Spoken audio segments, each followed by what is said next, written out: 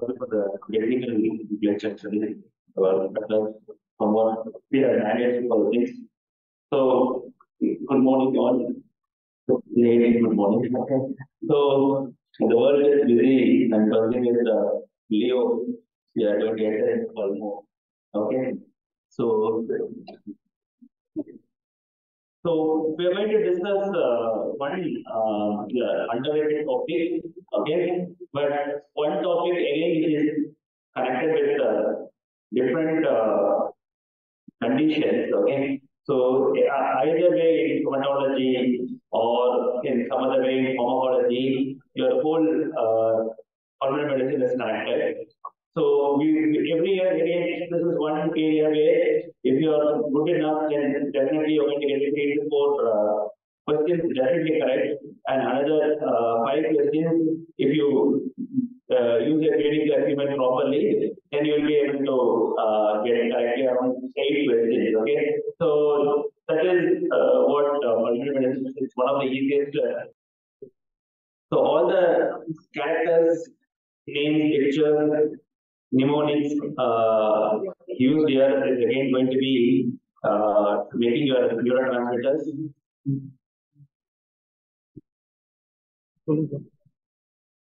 So all, these things make your neurotransmitters, amygdala and hippocampus sharp.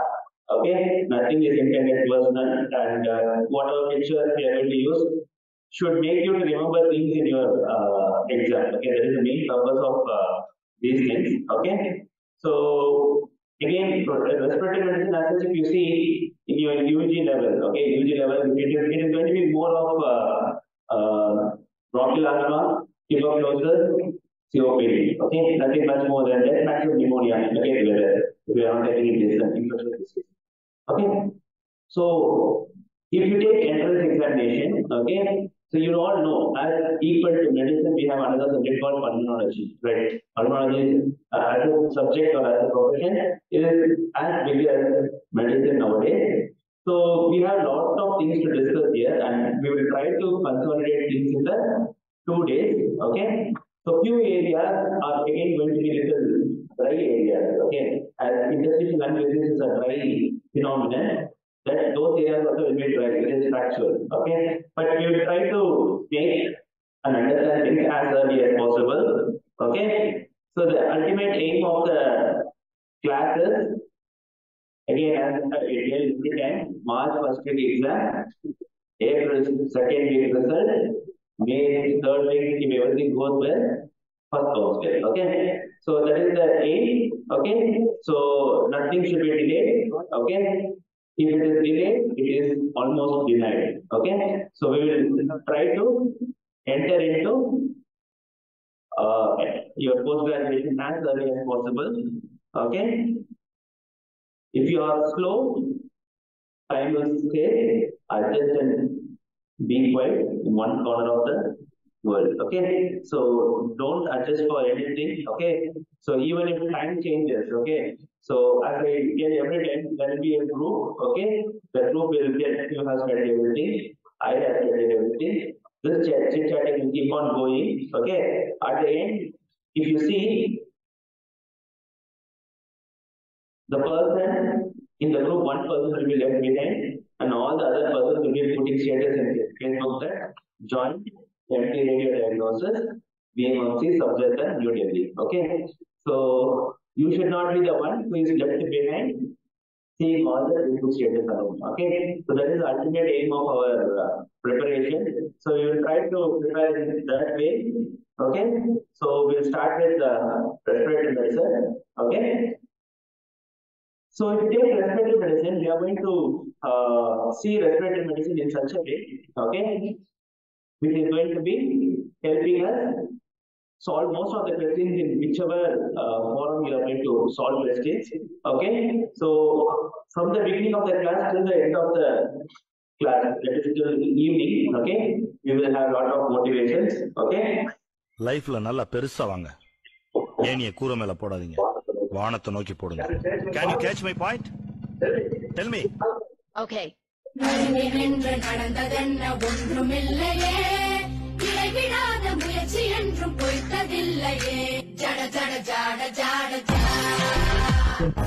So inspirations can inspire, but it's our own way how we are going to take things forward will help us to go forward. So with this, we will go into the first part of discussion in respiratory medicine. Okay, this is going to be development of the respiratory tract. Okay, so development of respiratory tract is again and very very important uh, thing because so because it develops as a bud. Okay, and from bud it becomes a lung. Okay, so what are the phase of development of lung? Okay, so if you take the first phase, the first phase is called as embryonic phase. Okay, embryonic phase. Okay, this embryonic phase is from day 26 of intrauterine life to sixth week of intrauterine life. This is where the lung behaves like a bird. Okay, so like the Tamil song, Muttukade Muttukade, Mooch Vida So the lung behaves like a bird. Okay, it's just a bird. Okay, so it has no role in respiration in initial phases. Okay, so it has no role in respiration. It just develops. Okay, then the next phase is going to be called as pseudoglandular phase. Pseudoglandular phase. This is from sixth week of intrauterine life till fifteenth week of intrauterine life, and here we have terminal bronchioles. The lung matures into terminal bronchioles. So small bronchioles are formed. Okay. From there, it enters into the next phase, which is called as canalicular phase. Canalicular phase, which is from 16th week of intrauterine life till 26th week of intrauterine life, where the bronchioles will branch into alveolar ducts. Will branch into alveolar. Then we have the next two phase called as saccular phase. Saccular phase is from 26th week of intrauterine life till the birth. Is around some somewhere around 36th week. Okay, it is where we are going to have alveolar sac. Okay, it forms small, small sacs. Okay, small, small bulges. Okay, and this is the primitive alveoli. This is the primitive alveoli. Then we enter the next phase called as alveolar phase. Okay, alveolar phase is from 36th week of intrauterine life till one and a half years of age. That is around 18 months of your post delivery. Okay, this is the phase when the mature alveoli forms. So if you take mature alveoli, mature alveoli forms from the term till one and a half years of age. Okay, so the complete lung development happens post-natal. Okay, so these are the different phases of the development of the lung. Okay, if you see in the picture also you can see the lung initially forms a lung bud. Okay, from the lung bud what we are having, we are having terminal bronchioles. Okay, from there we have alveolar sacs and alveolar sacs develops into uh, mature alveoli, okay, mature alveoli. So this is how your lung develops, and these are the phases of lung development which are very very important. Okay, so by the end of eight years of age, by eight years of age, and on an average, okay, so you have around 300 to 400 million alveoli. So in your lung, there are around 300 to 400 million alveoli at present. Okay, so this is what happens. Okay, but if you take around this time, around this time, that is around 26th week, the respiration is possible. Okay, the lung is possible or capable to do respiration, but it does not happen actually. Respiration is capable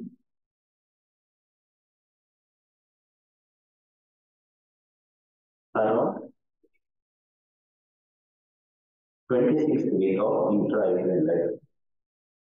But usually it won't happen. The lung will not do that, but it is capable of doing that. Okay, so this is the development of lung. Okay, so the development of lung is a very, very important thing. Okay, so now coming to the airway, we have something called as Weibel's classification. Weibel's classification. Okay. According to this Weibel's classification, we have trachea, which is considered as zone zero. From the trachea, we have main bronchus, lower bronchus, which is going to end as terminal bronchioles.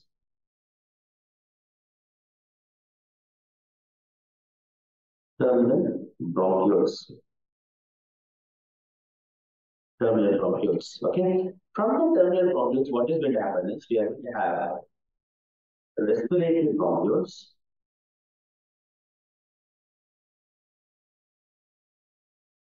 Respiratory bronchioles which divides into alveolar ducts. Alveolar sac and forms an alveolus. Forms an alveolus. Okay, so here we have trachea as zone zero. Okay, and from here we have till the terminal bronchioles. Okay, first generation to 15th generation. Okay, 15th generation. And from the respiratory bronchioles till the alveolus, we have 16th generation to 23rd generation. So if you take the airway, the is divided into 23 generations, which is called as Weibel's generation or Weibel's classification, where your lung starts from main bronchus as first generation and ends the terminal bronchus as 15th generation. And uh, respiratory bronchus starts from 16th generation and is going to end the 23rd generation as alveolus. Okay, alveolus. So here, this is very, very important thing because the air which is present in this zone, which is going to be your generation 1 to 50, has only one function. Okay, what is the function? It is just conducting the air. Okay, it conducts the air between the nucleus and out, and this zone is called as conducting zone. Conducting zone. Okay, whereas if you take the air which is going to enter into your respiratory bronchioles and your alveolus are going to participate in gaseous exchange. So this is called an exchange zone. Exchange zone. This is called an exchange zone. Exchange zone. Okay, and this part, the respiratory bronchioles to alveolus, is the part which is going to help in exchange, which is the function of your lung, right? And this is the functional unit of lung, and this is called as acinus. Functional unit of lung called acinus. Acinus. So if you take your alveoli, okay, the terminal bronchiole into which we have conducting zone and we have the uh, exchange zone which is going to be your acinus, okay, and this part which is conducting zone is present will contain around 50, 150 ml of air, okay, and that does not participate in exchange and it is called as anatomical anatomical dead space. Anatomical dead space. Yeah, anatomical dead space. So if I'm going to consider this as a null, okay, this is as a null as a whole. Okay, so this is the anatomical space, and if I'm going to consider this as a null, okay, till your general bronchioles, we have two arteries and vein. Okay, the artery and vein here are going to be called the bronchial artery and bronchial vein. Bronchial artery and bronchial vein. Whereas if you take the alveolar, alveolar level, we have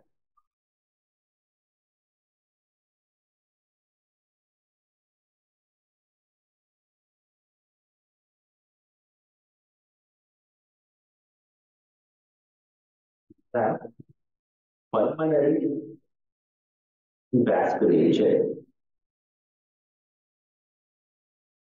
Pulmonary vasculature, where we have the pulmonary capillaries, these capillaries take part in gaseous exchange.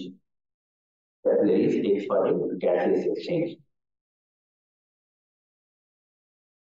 Okay, which is going to take part in gaseous exchange. The air which is present in this anatomical dead zone or anatomical dead space can be measured by a technique called the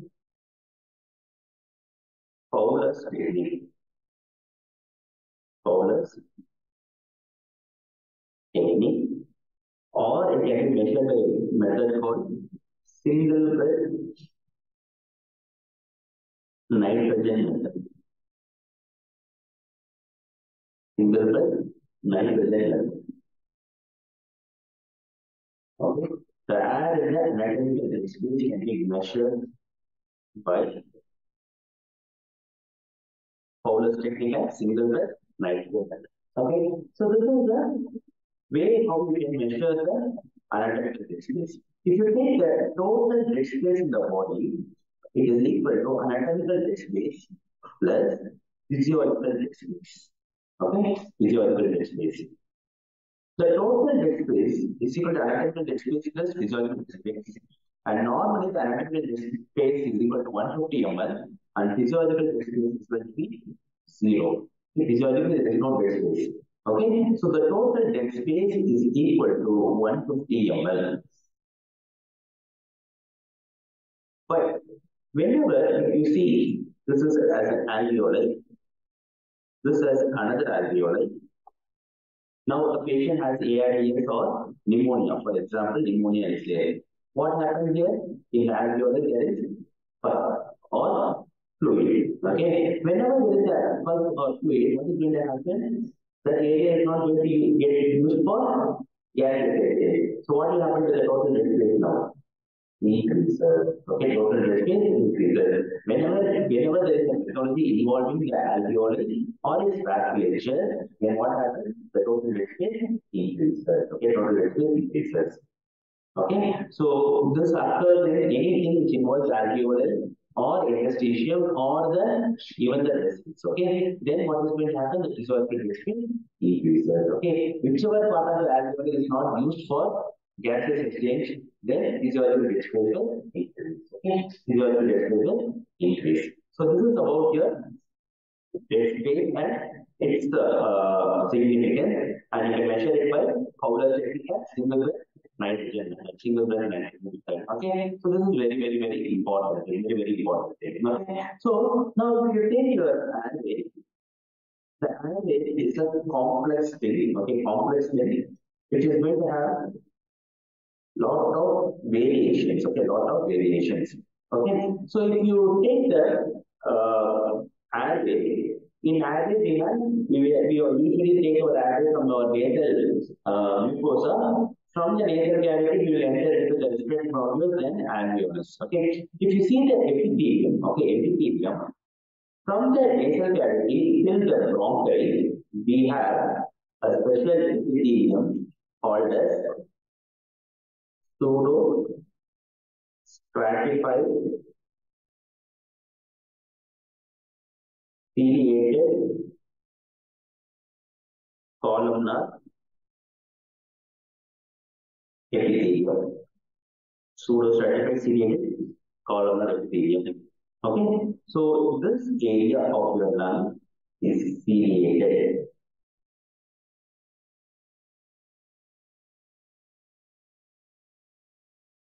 Okay, then after that, if you go to terminal bronchioles, it is ciliated columnar epithelium, which is not pseudostratified.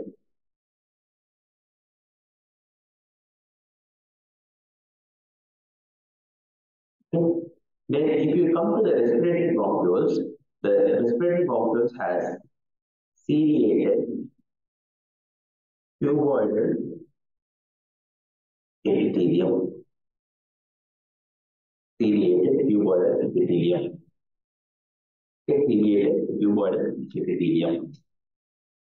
Okay, ciliated cuboidal epithelium. Okay, so this is very, very important thing. Okay, because if you know the epithelium, then the uh, ciliation, then the significance changes. Okay, significance changes. Next, coming to goblet glands. Okay, goblet glands. Okay, if you take the airway, airway has goblet glands. Okay, and this goblet glands are mucus secretory glands, and the number of glands decreases as you move towards the bronchi. Okay, it decreases as you move towards the bronchi. Okay, and there is no goblet glands over your terminal bronchioles and respiratory bronchioles. Okay, so this is the goblet which decreases as you move towards the bronchi. Okay, next is cartilage. Okay, cartilage. The cartilage part is very, very important because the cartilages are the one which is going to give a skeletal structure and prevents collapsibility of your airway. Okay, cartilage is one is the collapsibility of airway. If you take the nasal cavity as okay, nasal bones have cartilage, but nasal cavity does not have any cartilage. Okay, does not have any cartilage.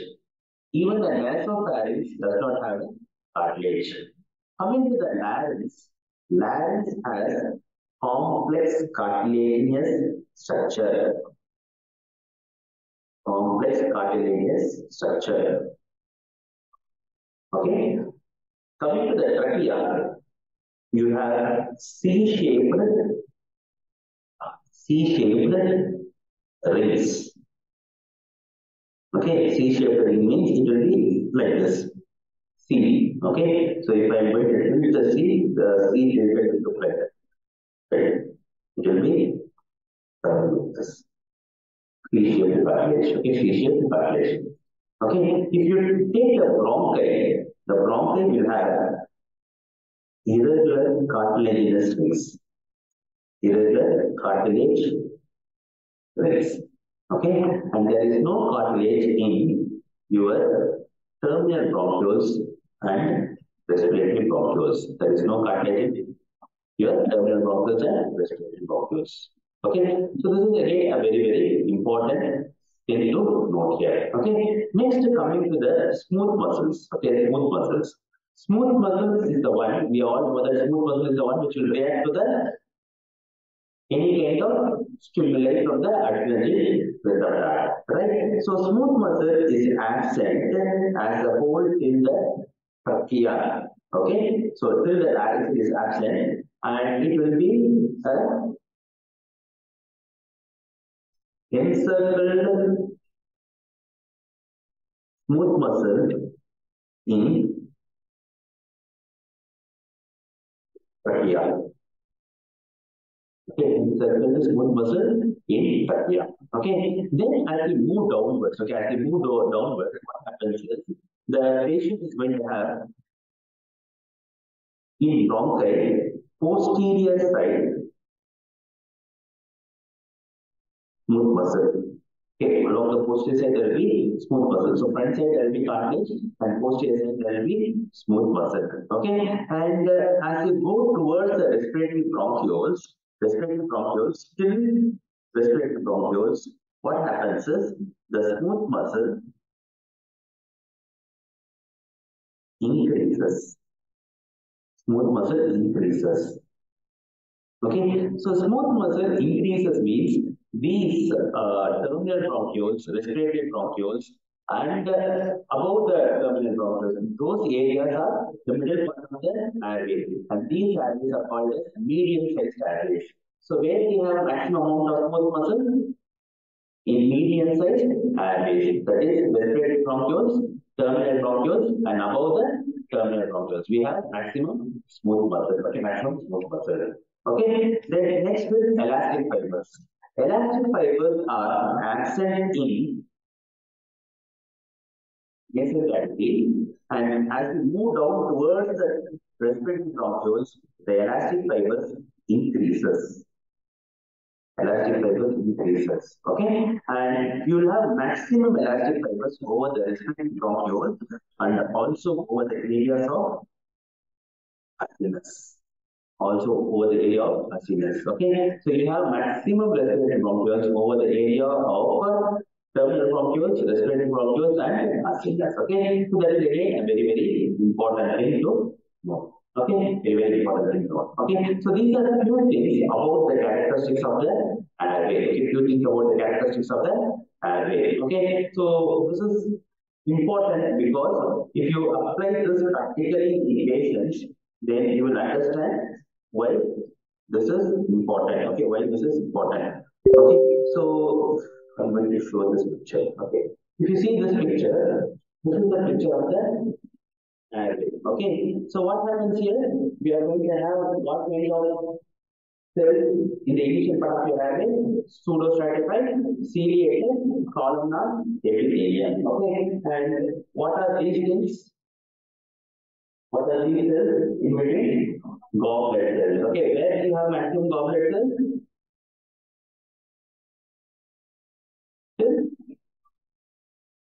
Till your bronchi. Okay, till your bronchi. You have a lot of goblet cells. Okay, but as you go, what happens? The goblet cells decreases. Okay, goblet cells decreases. Okay, then if you take your bronchi, okay, how what you have? You have cartilage. Okay, we have cartilage. Okay, but as you go down, what happens the cartilage? Cartilage is not present. Okay, cartilage is not present. And if you see your trachea, how the cartilage is present? Complete vein. But as you go go down, what is going to happen? It becomes patchy. Okay, it becomes patchy. Okay, then if you take your uh, airway, then you have smooth muscle. Okay, smooth muscle. Smooth muscle is again very very important part which is going to be all through the airway and it actually increases towards the terminal area. Area, medium size areas. Okay, and even elastic fibers also increases as we move towards the alveoli. Okay, so this picture is overall about the understanding of the. Important. What is zone is called as respiratory muscles and axons. Okay, that is the one which is going to help you. Respiration, are. Whereas from your here till your terminal zone is called as hydrated zone. Okay, because this is why this is very very important. If only if you know this, then we can whenever we see any uh, clinical questions, it will be easy to, for you to understand in which area you can you can have bronchi- bronchiectasis or which area you can develop asthma. Okay, which part of the will be more involved in asthma and why cells is important in knowing in knowing hypertrophy happens and how this hypertrophy can be measured in chronic bronchitis or any bronchial asthma, etc. Okay, so this is very, very, very important for you for your uh, future understanding of respiratory medicine. Okay, so with this we will go into the next part. Okay, next part. If you take the airway, okay, if you take the airway, the airway will start from the trachea and it will enter into the bronchioles and then into the alveoli. We have right side, left side bronchi, right and left bronchi.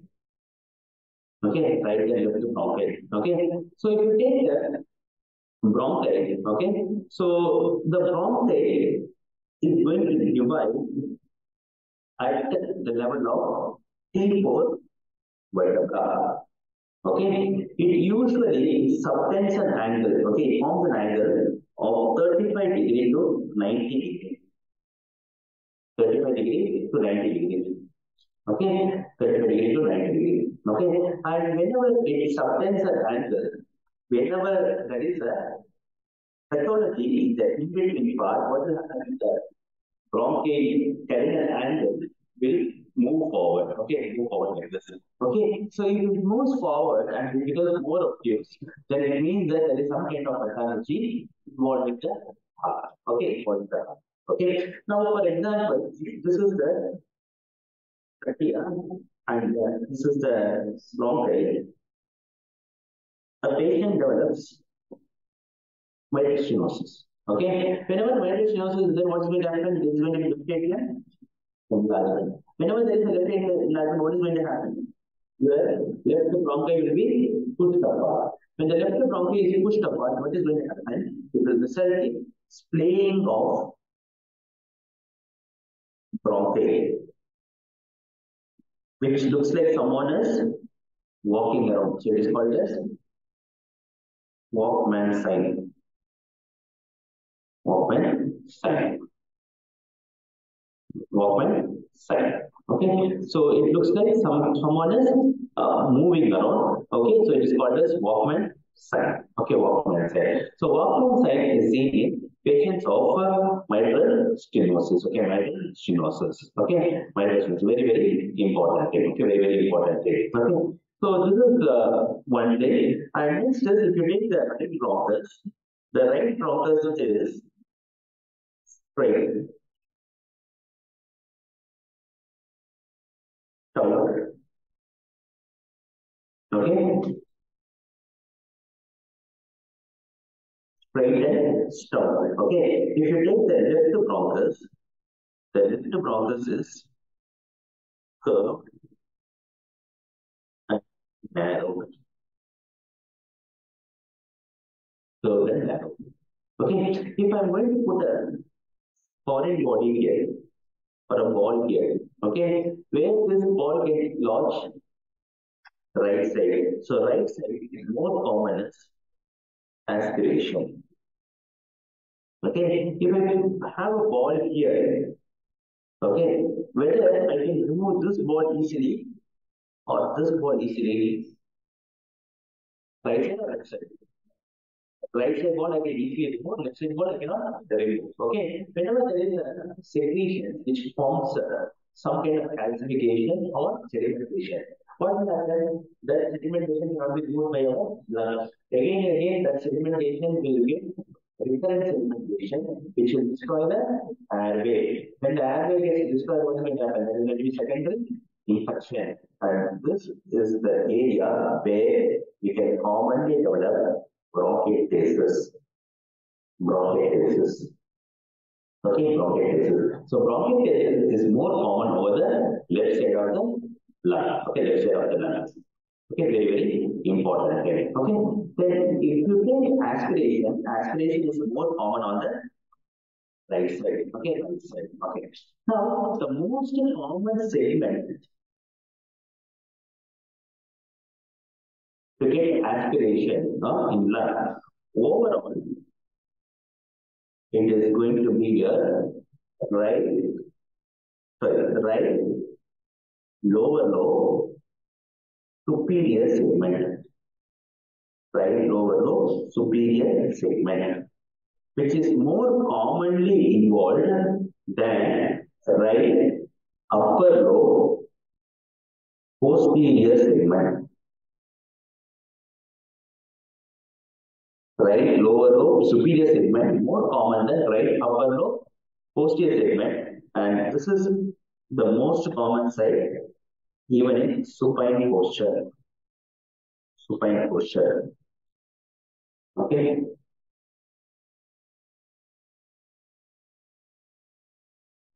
This is the most common in supine posture. So in the patient i will getting the bottom next page picture is for that reason only. I will write there also. Okay, so patient is lying down like this, okay, what happens? This is the lung of the patient. This is the lung of the patient. Whenever if you take any X-ray, okay, in view, okay, in the patient who is lying down, then what happens? The most common site to get the aspiration is somewhere around here and here. Okay, so it is going to be right lower lobe superior segment and right upper lobe posterior segment. In lying down posture, it is going to be right lower lobe superior segment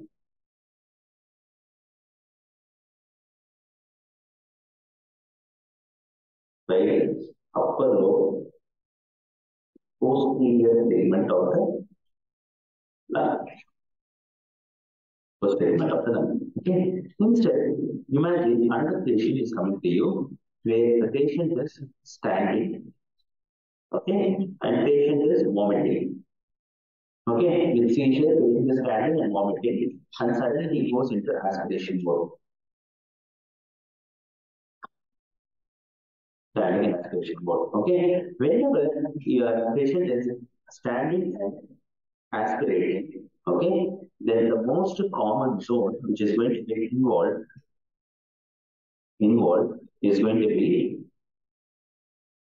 the right lower lobe posterior segment. Posterior segment.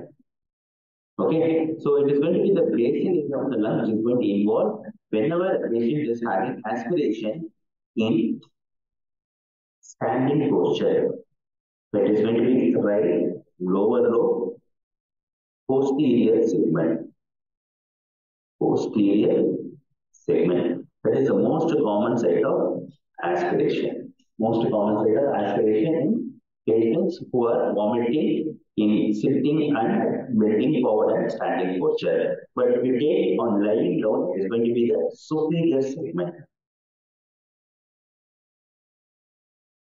This has been asked as an MCQ in exam. Very important MCQ. Okay, so this is another important thing you should know. Okay, apart from this, I have left one more thing. Okay, left one more thing here. If you take the airway, okay, if you take the airway, so this is the trachea, bronchi, bronchioles, alveoli.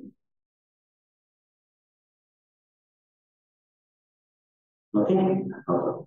So as we move from point A to point B, okay, what will happen with the diameter of the airway?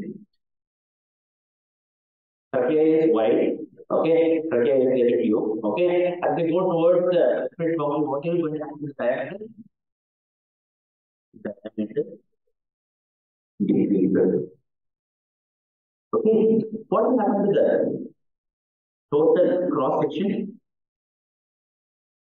So if you take here, the cross section is flagellus, okay? But as you move downwards towards the lung, what happens the cross section? Increases. Cross section increases. Okay. Next is velocity. Velocity. Okay. If I'm going to talk from here, okay, the sound intensity or velocity will be more near the first and second row, and what will happen till the last row?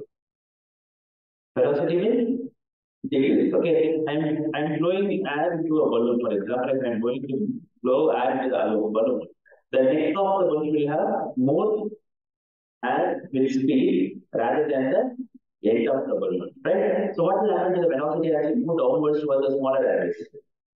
Decreases, velocity decreases. Okay, then next is resistance. Okay, resistance. Okay, so now I'm going to walk in between these two rows. Okay, when I walk in between these two rows, I'm walking easily, and I go to the fifth row, and I'm going inside the fifth row. Whether it will be difficult for me or easy for me. Difficult.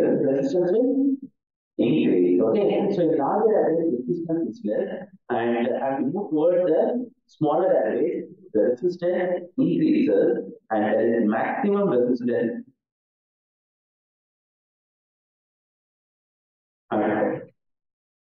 medium-sized airways. Medium-sized airways. Okay, the last part here is turbulence. Turbulence. Okay, turbulence. Okay, so what happened here? I'm walking towards the, I mean, or I'm going air towards the larger axis. Larger axis, the airway is very big, so the air is going through a larger space, so the turbulence is less.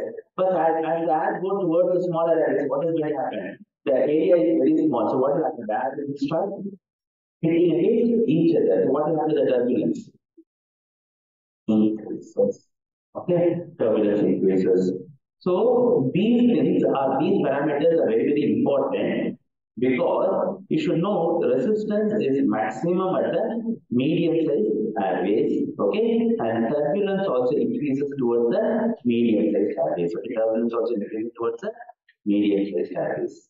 Okay, so this is this is explained by a number called physics. They would have told you Reynolds number. Okay, even in physics they would have told the Reynolds number. Okay, Reynolds number is whenever the Reynolds number is more than four thousand. Okay, then you will have turbulent flow. Turbulent flow. Okay, turbulent flow. Four thousand turbulent flow. Okay, so this is few things about your uh, physiology part of your respiratory medicine. Okay, and this is again one thing which you, we have to know is maximum resistance in the medium size airways. Okay, medium size airways. And one more thing here is if you take the lung, okay, so if you see that this is the trachea, this is going to divide into right and left bronchus, and this is the subcarinal angle. Okay, subcarinal angle. Okay, it will be somewhere around that, uh, around uh, uh, or less than 90 degree. But whenever it increases, what it means that there is going to be left enlargement. Okay, so you can see here, here there is a splaying of your trachea, which is going to be called as your walking man sign. Okay, walking man sign. Okay, so whenever your left atrium enlarges in size, then it will push the bronchus and it is going to cause the splaying of the airway. It is splaying of the airway. So this is seen in patients with uh, mitral stenosis. Okay, or left enlargement. Okay, what is this one? What is the in supine posture? What is the most common area to get prediction? Right, lower lobe, superior segment, right, upper lobe, posterior segment. On standing posture, right? Lower lobe, superior segment. Okay, superior segment. Okay, so this so posterior segment. These are the few get that part posterior segment. So these are a few things which is very very important when whenever they want to ask clinical based questions. Okay, clinical based questions. Okay. Now coming to the next thing. Okay, which is going to be cilia. Okay, cilia. Okay, if you take the airway, the airway is like this which has the epithelium. This is the cilia. Okay, cilia. So in the cilia, the function is whenever your air moves this moves in this direction, okay, the cilia will be in opposite direction. Okay, whenever air moves in this direction, air moves in this direction, cilia will be in opposite direction. Okay, opposite direction. And this mechanism is called as mucociliary clearance. Mucociliary clearance. Mucociliary clearance. Okay, so this movement of cilia in opposite direction is called as metachronism. Metachronism. Okay, metachronism. Metachronism. So this is the one which is going to happen here. way.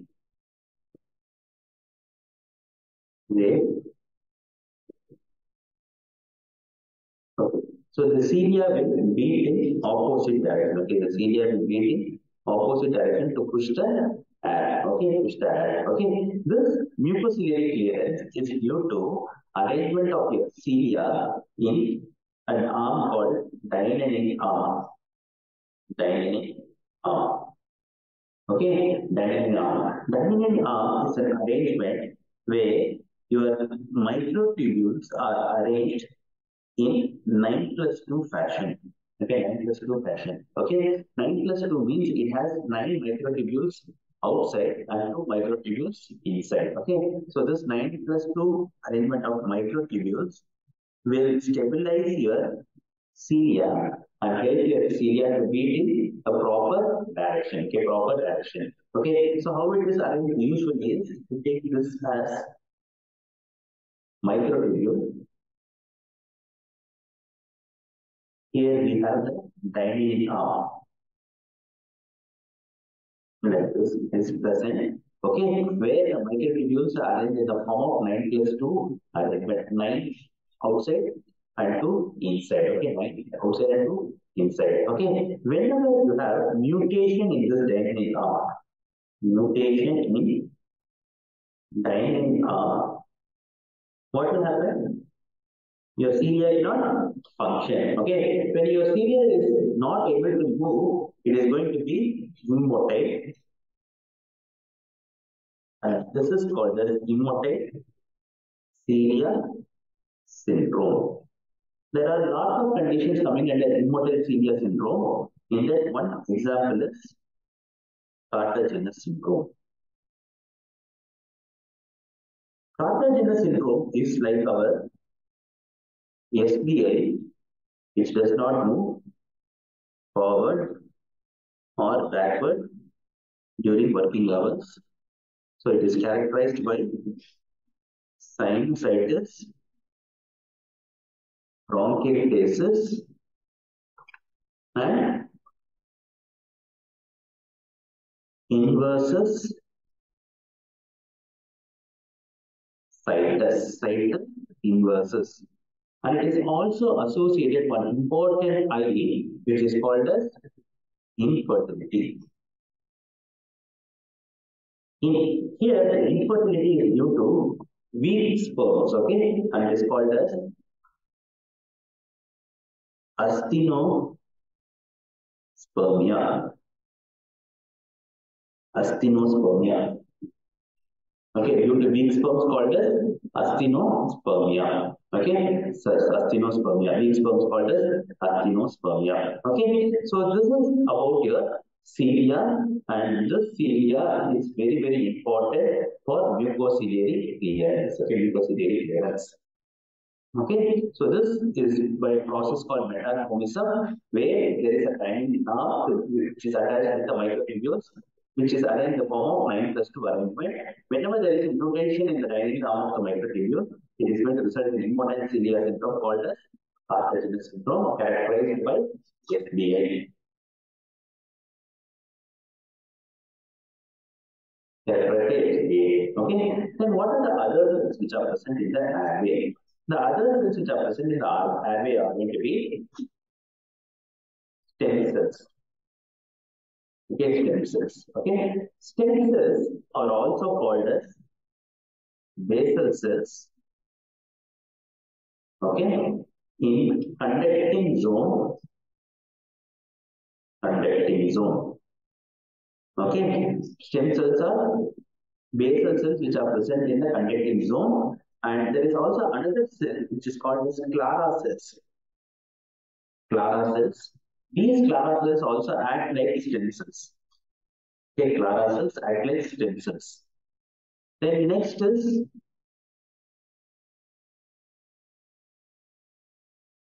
mucus producing cells.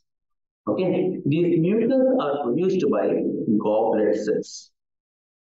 Goblet cells, which we call as mucosal glands, which are also called as goblet cells. Okay, goblet cells. Okay, so as I told you previously, we have another cell called Clara cells. Okay, Clara cells. These Clara cells are also called as club cells. Club cells. Okay, these club cells or Clara cells are non-ciliated cuboidal epithelial cells. Cuboidal epithelial cells present in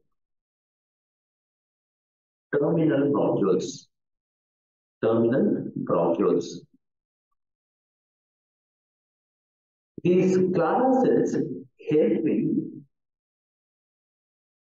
surfactant production. Surfactant production. Okay, and it also has another function which is going to be called as detoxification. Detoxification. So it is going to be helpful in production of surfactant and also detoxification. Okay, detoxification. Okay, next we have one important cell which is called as Kulchitsky cells.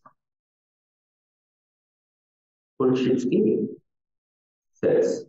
Okay, Kulchitsky cells. These cells are also called as Apud cells. Okay, Apud cells. What is Apud cell is? Apparently unrelated endocrine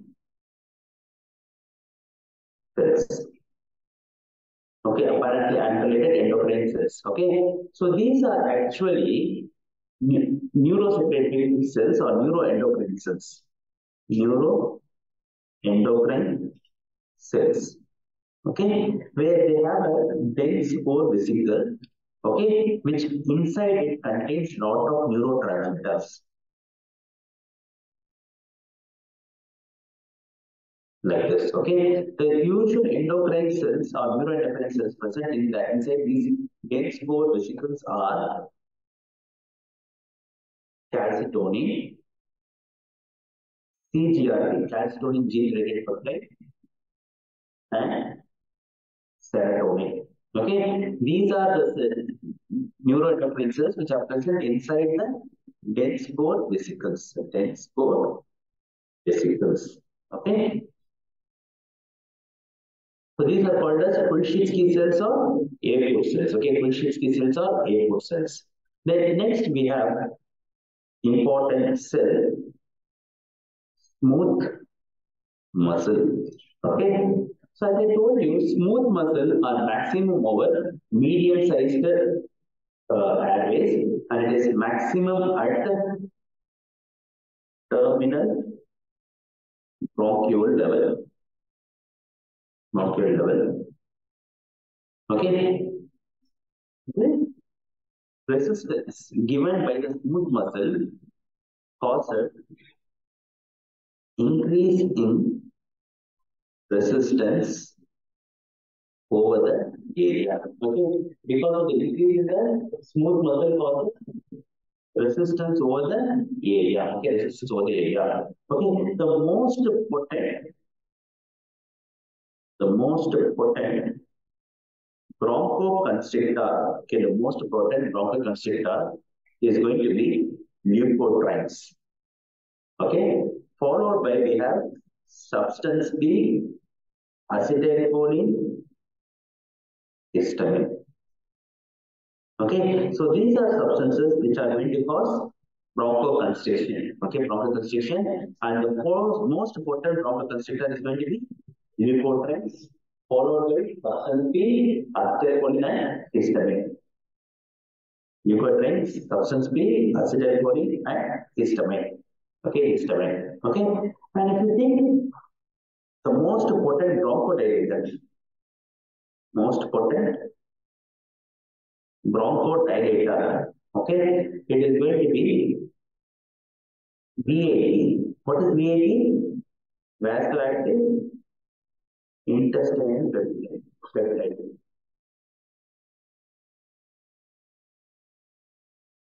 Okay, and we have Nancy. Okay, Nancy are non-adrenergic non-cholinergic peptides. Non-adrenergic, non-cholinergic peptides. Okay. Apart from this, we have other bronchodilators, which is going to be nitric oxide and beta 2 receptors. Nitric oxide and beta 2 are going to be other bronchodilators. Okay, bronchodilators. Okay. This is very, very important thing. Okay. So whenever your patient is uh, there, okay, there will be maximum broncho constriction at around 6 a.m. in the morning and maximum bronchodilation at 6 p.m. in the evening. Okay, so if you take maximum broncho constriction, okay, so this broncho constriction usually occurs in the early hours of the day and this bronchodilation will occur around the evening. Okay, so maximum chances of getting bronchial asthma during which time? Early hours of the. Okay, and bronchodilation is maximum around 6 p.m. 6 p.m. Okay, so this is again very very important thing to know. Okay, then next is we have another cells called pulmonary alveolar macrophages. In alveoli, we have macrophages, and these pulmonary alveolar macrophages are also called as dust cells. Okay, these pulmonary alveolar macrophages is also called as dust cells. Okay, dust cells. Then next is we have another important thing called broncho arterial ratio. Okay, so whenever you take your bronchus okay, the broncho arterial ratio is more than 0.6 to 0.7.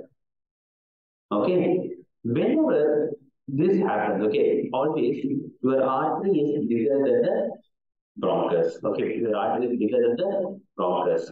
Whenever your bronchus becomes, becomes bigger than the artery, okay, then the bronchoarterial ratio will become more than 1. Okay, more than 1. Okay, and this is seen in bronchiectasis. Bronchiectasis. Bronchiectasis involving the medium-sized airways, that is just below the bronchi and just above the bronchioles. So segmental and sub-segmental bronchioles are getting involved in it. Then what is going to happen? You are going to have a bigger bronchi than the artery. Okay, and if you see here how it looks like,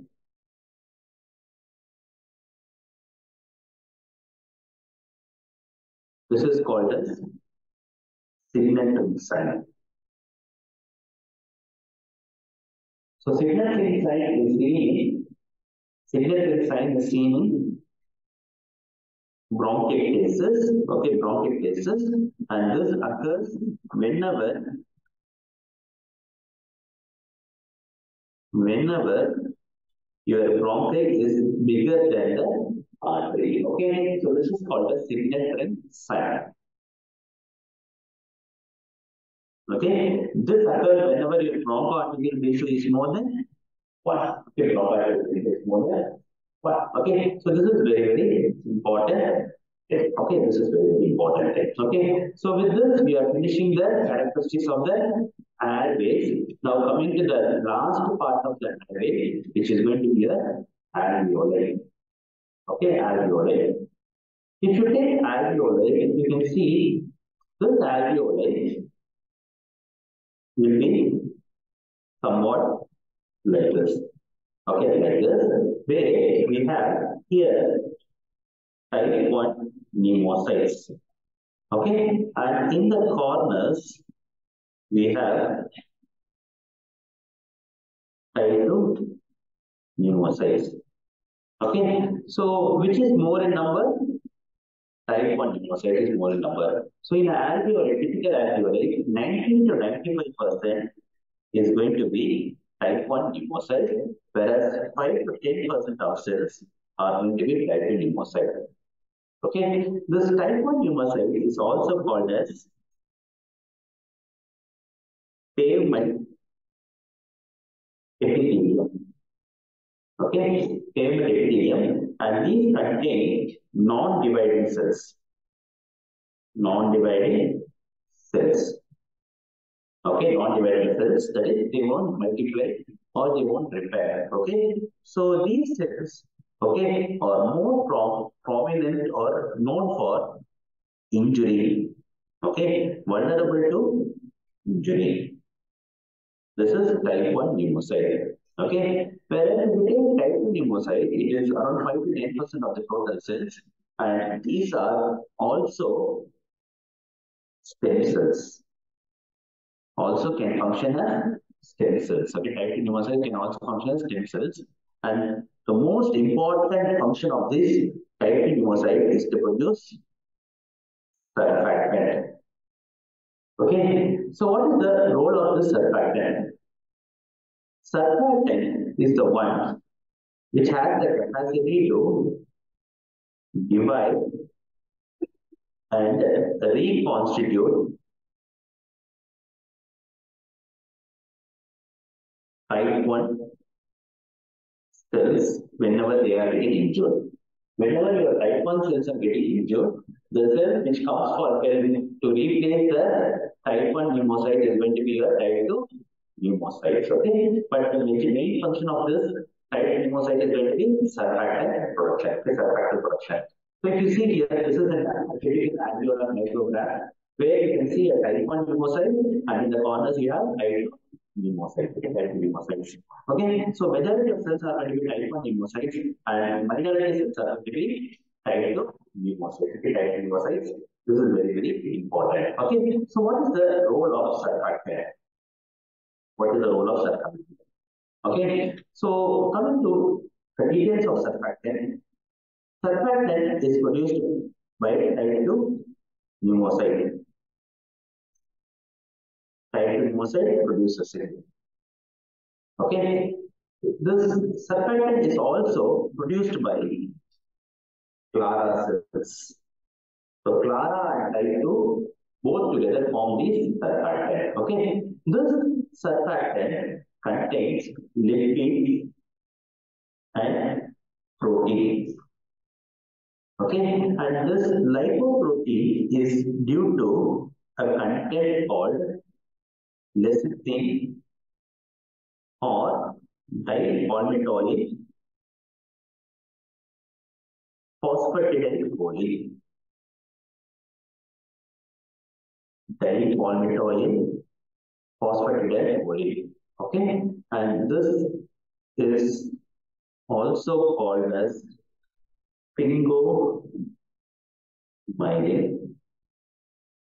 sphingomyelin. Sphingomyelin. Lecithin or dipalmitoyl phosphatidylcholine. This is the lipid part, and you have protein part where there are four important proteins called as surfactant protein A, B, C, and D. So it is called SPA, B, C, D. Okay, SPA, B, C, D. Okay, this SPA and D associated with markers of lung maturity. So whenever it is present, it means that the lung has matured. Okay, so surfactant protein A and D are markers of lung maturity. Okay, so these surfactant production happens all through the day, and this surfactant is removed by pulmonary alveolar macro okay, from the alveolar macrophages, which is also called as dust cells. Okay, and it is also aided by another one cell called GMCSF. GMCSF.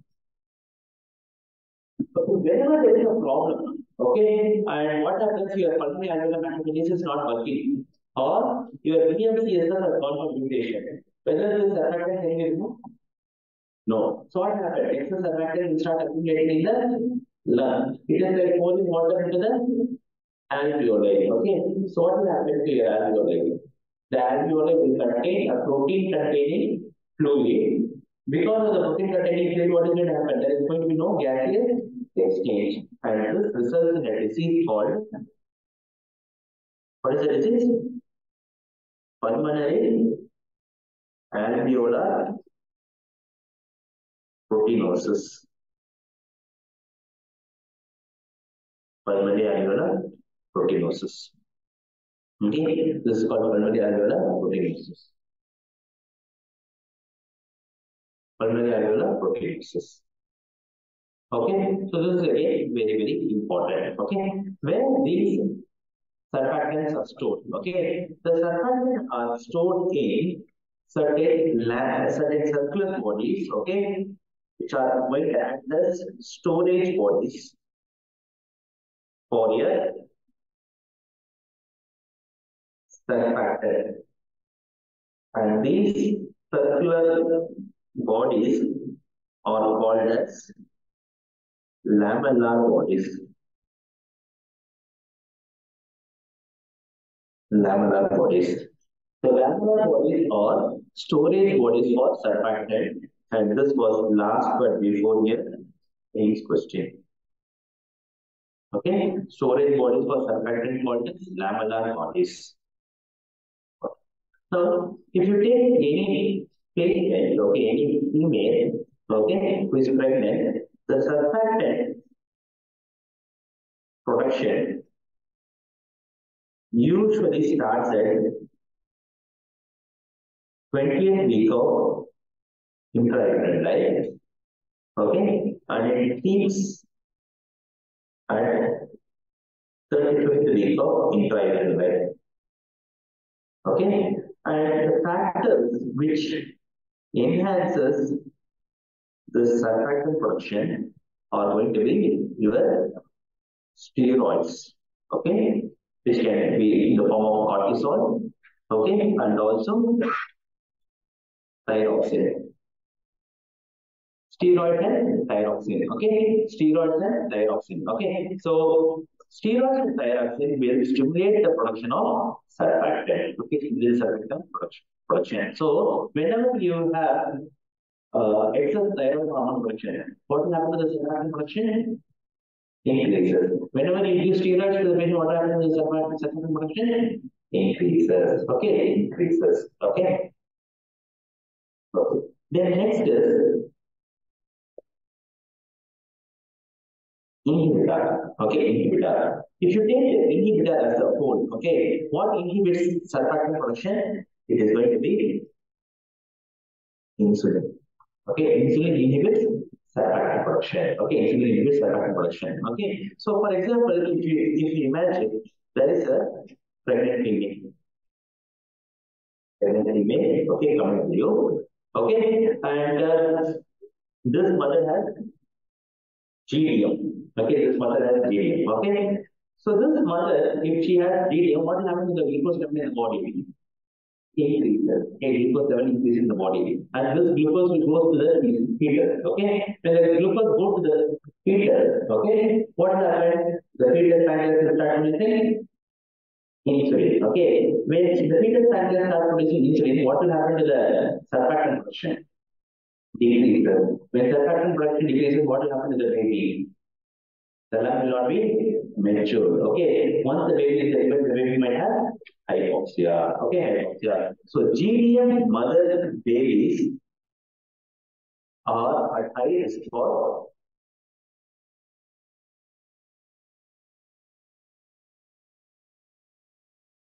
surfactant deficiency. Surfactant deficiency. Okay, why this surfactant is important? Okay, why this surfactant is important? If you take your alveoli, your alveoli is like this. Okay. Okay, so this is an alveoli pattern. Okay, and this alveoli has a layer of water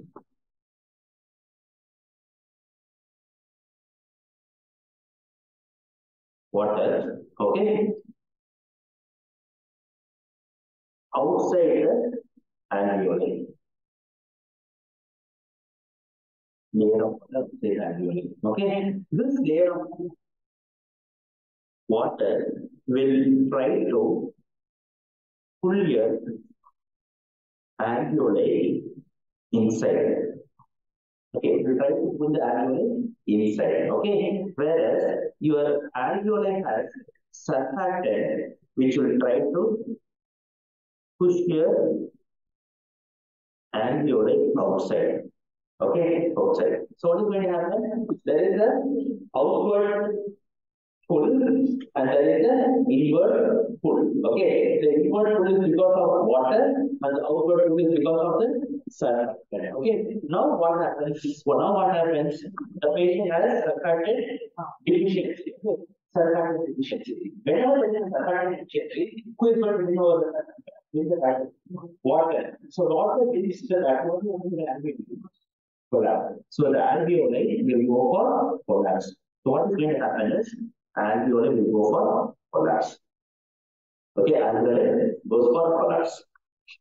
Okay, so alveoli goes for collapse means what is going to happen next is this is the this is the alveoli. Okay, so if I take this as an alveoli, this is an alveoli. Okay, now this alveoli blown like this. Okay, if the alveoli is blown like this, if I try to blow the alveoli what will happen? I can do easily. But instead, every time the alveoli collapses. Okay, and every time what will happen? Force increases. Every time force will increase to expand the alveoli. So what will happen when one of increases? After some time, I, my muscles will become tired. So what happens? I cannot breathe in or breathe out. So what will? The alveoli will be in a collapsed state and I cannot put effort. So what will happen ultimately? Respiratory failure. Respiratory followed by respiratory. This will happen. So what is going to happen whenever you have alveoli not having surfactant, it is going to result in respiratory distress. Okay. So to open up collapsed alveoli, collapsed alveoli, the work of breathing increases. Okay, work of breathing increases. The increase in work of breathing will result in respiratory distress. Respiratory distress. This respiratory distress will result in hypoxemia. Okay, this hypoxemia will cause damage to alveoli. Okay, and because of the damage to the alveoli, what will happen is there will be a formation of a fibrous layer over alveoli. And this fibrous layer is going to be called as hyaline membrane. Membrane. Okay, membrane. Okay, so what will happen? Ultimately, your alveoli will have a fibrous membrane covering. Okay, which will further impair the gaseous exchange. Okay, and whenever there is an hypoxemia, hypoxemia, all the blood vessels in the body will go for vasodilation, and pulmonary vessel will go for pulmonary vasoconstriction. Okay, whenever there is a pulmonary vasoconstriction, what is going to happen? Right heart pressure increases. Right heart pressure increases. Okay, whenever right heart pressure increases, what is going to happen? Usually in fetus, there will be opening between your left atrium and the right atrium called as AAT. When right heart pressure increases, what happens to the blood? The blood will move from the left side to the right side. So what is going to happen? Normally it is going to be from the right side to the sorry left side to the right side. Now when right heart pressure increases, what will happen? The blood will move from the right to left. When good blood is getting mixed with bad blood, what is going to happen? Cyanosis will develop. the baby will develop cyanosis. Okay, and there to be formation of iron spray. Okay, and because of this baby developing cyanosis with hyaline membrane formation, this is also called as hyaline membrane disease.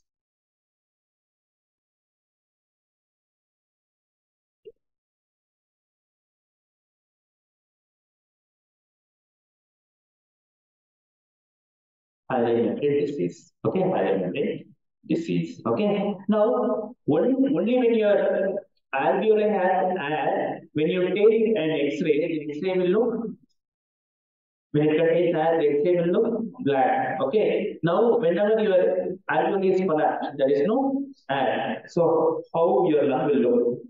White. So, this is called as white lung or washed out lung.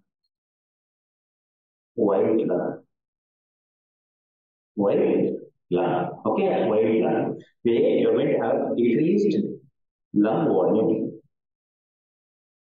Okay, along with that, you can see lot of areas of under perfused and under aerated areas, and that is going to give you ground glass appear- appearance. Ground glass appearance. Ground glass appearance. Going to give you ground glass appearance.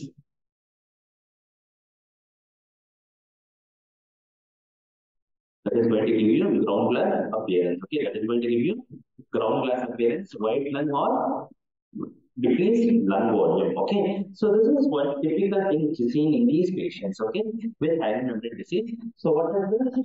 This is an alveolar, typical alveolar, where you are going to have alveolar mechanism called discussed there.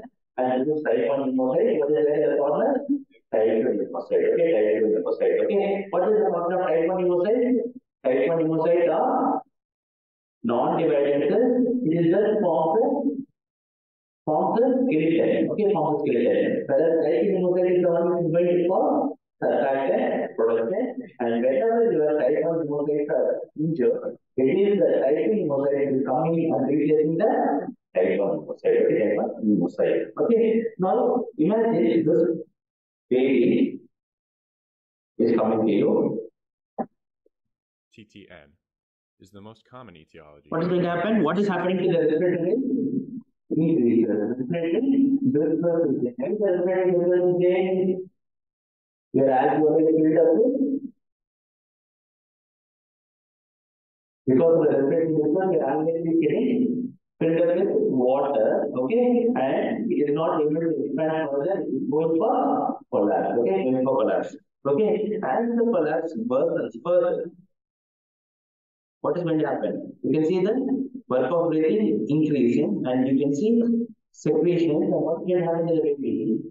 It is the cyanosis. Why it does cyanosis? Because it is in the from right to left side. And what kind of lung is going to get here? It is the wide lung. Okay, wide lung. Okay. So this is the feature of your patient having hyaline membrane disease. Okay, hyaline membrane disease. costal and intercostal. What happened to the respiratory effort here? Respiratory effort increase. You can see the increased respiratory effort. Okay, retractants, different cyanosis in the baby, and this is the feature of feature of hyaline membrane disease. Okay, hyaline membrane disease is very very important. Okay, okay. Now a mother is coming to you. Okay, the mother is coming to you and asking you, my child, okay, my child uh, previously had membrane disease. This is my second child. Okay, I have a doubt whether this baby also will develop membrane disease or not. Okay, so what you are going to do is you are going to advise the patient to undergo certain test. Okay, so what is the first test we can do this? We can go for lamellar body count. Lamellar body count. Okay, what is this lamellar body count? Okay, what is this lamellar cells? Are storage body for surfactant. Okay, at 20 weeks of gestation. Okay, if there is an increase in the lamellar body, they don't have any definite numbers. okay, increased lamellar count is present, then it means that lung maturity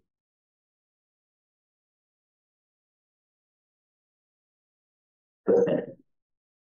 Okay, then the second thing is you're going to see for this is the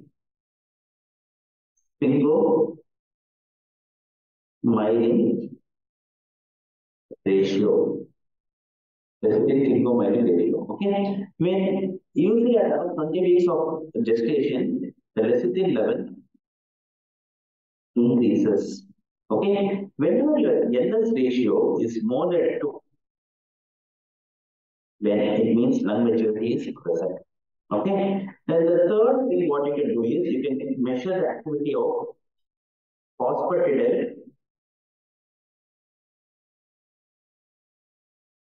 glycerol or choline. Okay, this usually done at around 35 weeks of gestation age. Okay, gestation age. Okay, so how you are going to do this? Okay, what you are going to do is you are going to take the amniotic fluid, okay, and put it in a test tube. Okay, and what it contains? It contains protein. Okay, when it has protein, when you shake the protein, what will happen? It will form bubbles. Okay, so bubbles, if present, okay, then lung maturity is present. Okay, bubbles is present, then lung maturity is present, and this is done by a called shake test. Okay, shake test. So shake test is a subjective test where you take the amniotic fluid, put it in a test tube and shake the test tube and you can see the bubbles like this. Okay, bubbles like this. Okay, so this is called a shake test. I will show you the shake test. So this is a test tube, okay, where you take the uh, amniotic fluid, shake it well, and after taking what will happen, there will be bubbles there. Okay, if bubbles is present, then lung maturity is present. If there is no bubbles, then it means that lung maturity is negative. Okay, lung maturity is not present. Okay, imagine now a baby is coming to you, born, born baby is coming to you, okay, and you do a shake test, and shake test is negative. Okay, and what you are going to do now? you are going to deliver because baby is in hypoxia, the mother is having three preeclampsia. Okay, you have to deliver the baby. Okay, so I or less than 34 weeks of gestation. Okay, so your baby from inside is singing one song. Okay, what song is singing? Daddy, daddy, oh my daddy. Okay. Okay, and you want your beta intact. So what you going to do?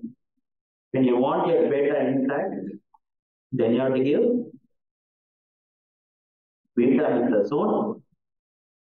Okay, so you have to go betamethasone, which is more drug of choice than dexamethasone. Okay, so when you want your beta intact, you have to go for betamethasone. Okay, betamethasone. Because I told you steroids are stimulators of surfactant production. Okay, so you go for steroids. Okay, in the form of betamethasone. Okay, now your baby is delivered. Okay, the baby is delivered.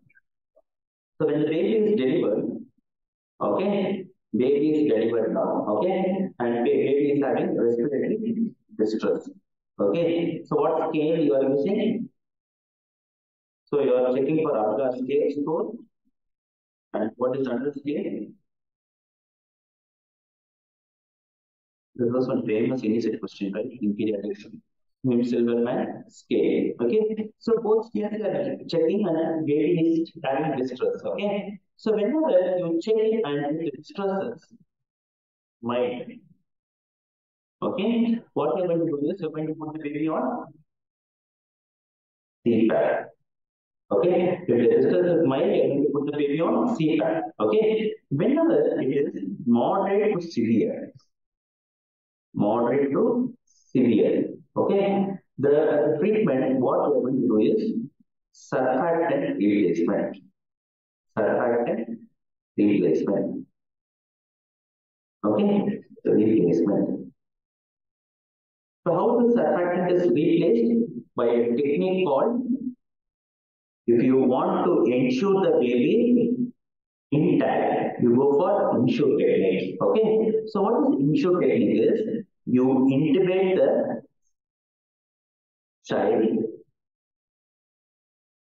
okay, and then you give surfactant and once the child recovers, extubate. Extubate. Okay, so what is the surfactant which we are usually using? Okay, so when you go to pediatric coaching, they will tell that sur- give sir, what is the surfactant? Okay, we have two surfactants here. One is going to be luminactant. The other one is going to be Beractant. Beractant. Luminactant and Beractant. Okay, so these are the two surfactants which are available for insure technique. Where you integrate the surfactant distillation followed by extrusion. Okay, surfactant distillation through the lead surfactant. Okay, then you are going to extrude the baby, and this is called the insure technique. Okay, insure technique. Okay, so what are the markers? This was last year initial question for the completion sake we are taking. What are the markers of alveolar cell maturation? Okay, so if you take there are two markers for type 1 and type 2 alveolar cells or pneumocytes. Okay, for type 1 alveolar cells, we are going to have heavy which is going to be a marker, aquaporin 5, which is going to be a marker, and carboxypeptidase, which is going to be a marker. Okay, coming to type 2 alveolar type 2 alveolar we have surfactant protein A, B, C, and E. Okay, a common marker for both type 1 and type 2 alveolar is going to be it is a common marker for both surfactant production and for type 1 alveolar cells, which is going to be this. Okay, so these are a few things which is very, very, very important things about the anatomy part of your medicine. Okay, and the technique what you are following is called the insure technique in patients with HFD, where you intubate, use surfactant and go for extubation. Okay, extubation. Okay, so this is about your anatomy part of your pulmonology, and this is very, very important because we are in various areas we are going to use this things. Okay, and before completing just for completion sake, I will go into another one that is what is CHARGE syndrome. CHARGE syndrome is one way the going to have C for coloboma radius, H for heart disease, A for atresia of Poyeni, okay, atresia of nose, okay, and patient has retarded growth, genital anomaly, and ear anomalies, okay. Here, if you see the eye of the baby, the eye of the baby will have Poyeni atresia. Why I'm telling this? Telling this here, the patient is baby is going to have Poyeni atresia, okay, Poyeni atresia. When the baby has Poyeni atresia, okay, what is going to happen?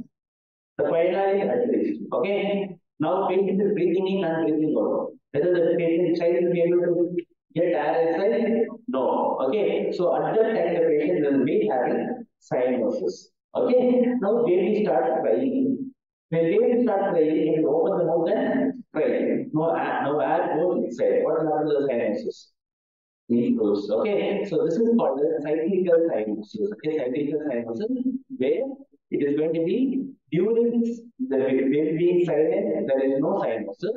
When the baby starts crying, there is improvement. Mean, whenever baby is still, there is cyanosis is present. When the baby starts crying, cyanosis will disappear. Okay, what is the bedside test to assess spinal atresia? Okay, you just take a rice put inside tube will there will be resistance putting the tube. Okay, and how to confirm it? You have to go for HRCT. Okay, in HRCT you will see a membrane over the posterior okay, posterior lining. Okay, so this is more of a pediatric and anatomy question just for completion sake.